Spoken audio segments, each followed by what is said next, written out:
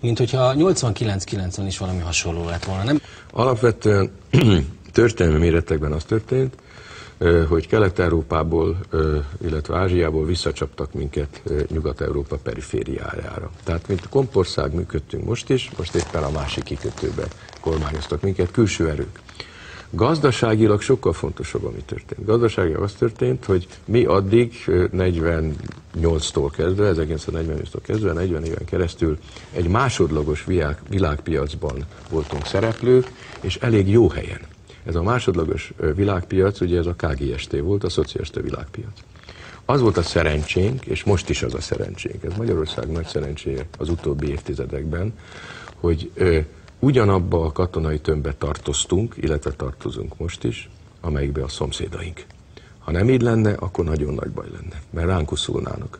Újra és újra a kisantant, az mindig újra. Ebben egyetértek a jobbikkal. Kisantant újra és újra egyet, e, e, e, együtt áll, és ezért kell nekünk mindig a szomszédainkkal azonos védelmi rendszerbe tartozni. De gazdaságilag nagyon nagy baj történt, mert megszűnt ez a másodlagos világpiac, amelyben mi elég jó helyen voltunk, kiváló pozícióban, ami a termelés volumennyit életi, illeti, a, a, a, a, ugye a minőségről nem beszélek, és valamit még nyugatra is el tudtunk adni. De ez összeomlott. Ugyanakkor azt mondod, hogy most a nyugat gyarmata vagyunk, Igen, ezt mondtad pontosan, valahol, és azt pontosan. is, hogy ez egy azért picivel jobb. Így van. Hát egy ilyen perifériális ö, ö, Kelet-Európa, ugye, amelynek a határai ezer éve nem változtak, mint Szűcs Jenő is kimutatta abban a nagyszerű tanulmánykötetében. Ö, ö, ha a nyugatnak vagyunk a gyarmata, az egy kicsivel mindig jobb, mint hogyha a keletnek vagyunk a gyarmata. Egy kicsit jobb Ausztria gyarmatának lenni, mint török gyarmatnak lenni. Egy kicsivel jobb. A baj mindig akkor van persze, ha kettős adóztatás folyik ugye? Mert az készíti ki az országot. Tehát amikor a török területeken nem csak a török szedi be a sápot, hanem a császáriak is beszedik, noha nem is az ő területük, akkor ottan elnéptelenedik az Alföld és minden, és a Dunántúlnak az a része. Na most tulajdonképpen itten nagyon nagy baj történt azzal, hogy a kelet-európai országok nem tudtak egymással összefogni, és nem tudták drágában eladni azt, amit így is úgy is el kellett volna adniuk a nyugatnak. Ha össze tudtunk volna fogni, és ezért foglalkoztam én egész életemben Kelet-Európával, hogy egyezzünk ki, kössünk egymással szövetséget, mert itt mégiscsak olyan 120-130 millió emberül van. De ez most nem összefele megy, szétfele megy ez a Kelet-Európa, nem? Igen, sajnos ez a divideat impera, ez a, a Stalin időkben is működött, és működik a nyugati És ki osztja meg? A nyugati világ osztja meg Kelet-Európát? Hát nagy rész persze. Hát persze Nem Oroszország esetleg? Hát az oroszok a németekkel együtt szoktak focizni. Rapalló óta együtt fociznak, és ettől például a lengyelek mindig és elég jogosan félnek. Ugye ez a, ez a víziód, ez a háborús víziód, most tényleg abszolút kilépve az irodalomból.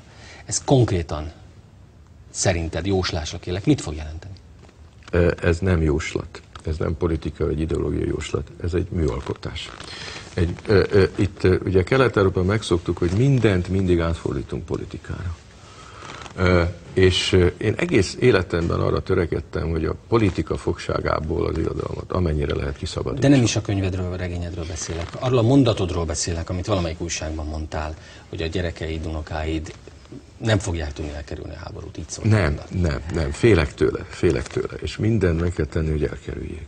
Ugyanis az a baj, hogy mi magyarok itt a Kárpát-medencében gyengébbek vagyunk, mint a környezetünk együttvéve. Ugye katonailag, ez, ki, ez kiderült ugye annak idején sajnos a Trianont megelőző egy évben.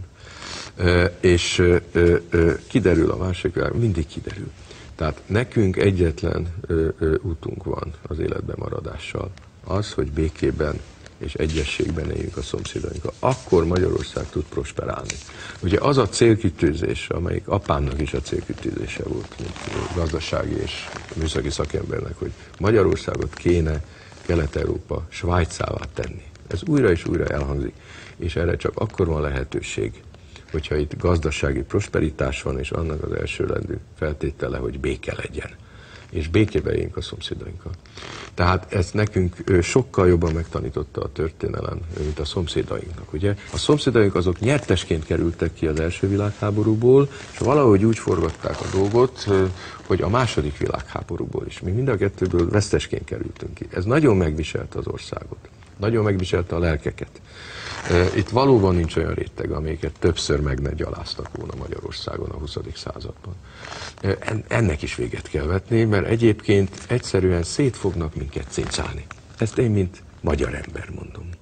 Én értem és olvasom ezeknek a népeknek, a körülvevő népeknek az irodalmát, a történeti koncepcióit. Én ezeken a nyelveken tudok.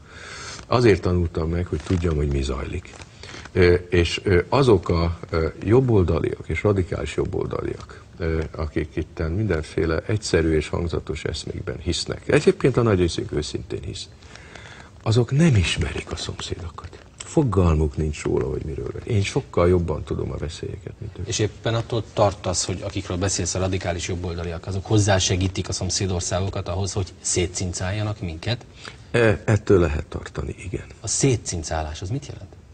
Hát ugye annak idején azért sokkal többet szerettek volna Magyarország területéből megkapni, mint ami végül is a, a békediktátumban nekünk jutott.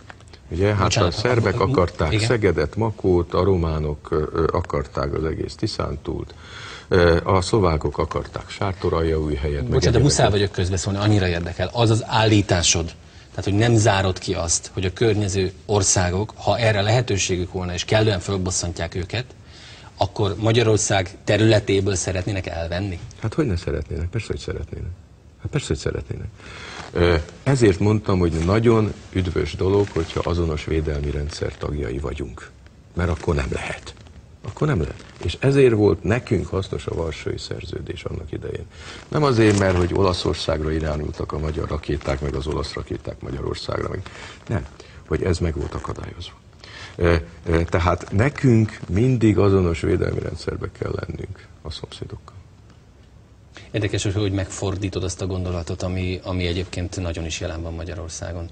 Ugye Magyarországon Trianon miatt főleg arról beszélnek, hogy hogyan lehetne bizonyos területeket sokan erről beszélnek, visszaszerezni. Arról, hogy még esetleg valaki elvenne ebből az országból, az nem, nem beszéd téma.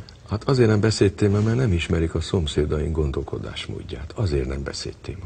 Azért nem. A történészek pontosan tudják. Hát aki történészként akár a szlovák, akár a román, akár a szerb, meg a a horvátok most éppen csöndben. Ezekkel a társaságokkal foglalkozik. Hát azok tudják, hogy mi állott a történelmkönyvekben, miket hirdetnek a politikusaik, és miben hisznek a szomszédaink. Hát tudják. De hát ők ugye szakmunkákban írják a dolgot. Én ezt nem szoktam leírni, és csak most, hogy rákérdeztél, most akkor mondom. De egyébként nekem nem is ez a dolgom. Hát mit tudok én ezen tenni? Azt tudom tenni, hogy féltem a hazámat, ennyi nem tudok más csinálni, és akkor minden művem ennek a célnak a szolgálatában áll. Egyébként az, hogy a radikális gondolatok Magyarországon milyen típusúak, hadd hivatkozzak csak egyetlen szépirodalmi műre, mert, mert abban mégiscsak komplexes képet tudok nyújtani. A Kvartett című daramat 96 óta, 97 óta folyamatosan játszák. Most volt a 175. előadása, és abban van egy öreg kommunista, egy veterán, aki annak idején személyzet is, is volt, meg valószínűleg ügynök is volt, meg sok minden volt. Nagyon tragikusan éli meg a rendszerváltást, és olyan nézeteket hirdet, amelyeken 97-98-ban még úgy nevettek a nézők. Hát most már nem nevetnek, mert radikális jobboldali nézeteket hirdet. Kényában egyébként. És tulajdonképpen valahol tragikusan igaza is van. Tehát ahogy a multikra támad, meg erre az egész védcsaftra, ami Magyarországon van, túloz, túloz, de sajnos van benne valami. Na most, hogyha az ember ábrázolja azt, ami a lelkekben van, és végig egy írónak ez a dolga, akár történelmezbe, akár nem, akkor ezekkel számot kell vetnie. Köszönöm szépen, hogy Én köszönöm. Hozzánk.